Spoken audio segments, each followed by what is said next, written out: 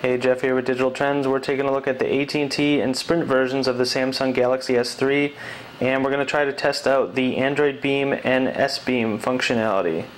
So we'll just refresh both of those. Uh, first, we'll try Android Beam.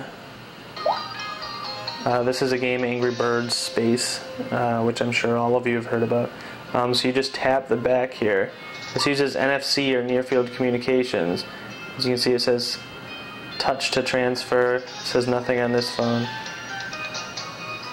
So you beam it, and then it brings you to the Android market where Angry Bird Space is on this phone. So that's standard standard uh, Android Beam.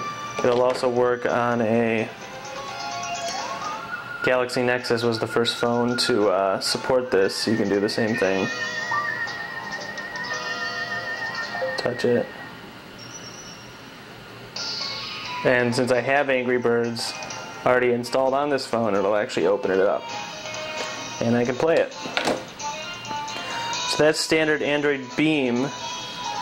We'll also shut Angry Birds down and show you, uh, we'll attempt to show you S-Beam. So I have here uh, a video that I took on the, uh, the AT&T version of the phone when I was doing uh, the review just a short little video.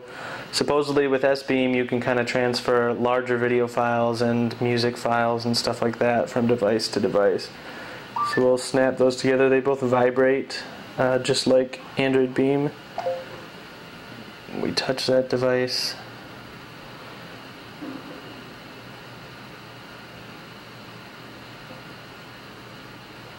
So it says separate devices. Okay, now they're connected and it is transferring the MP4 file. So it actually tells you to separate the devices and then it, uh, it must make a secure connection.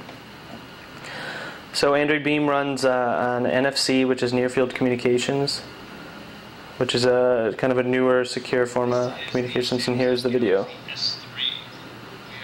So it transferred pretty fast. That was at least a 40, 50 meg video. So that is the Android Beam and S Beam functionality of the Samsung Galaxy S3.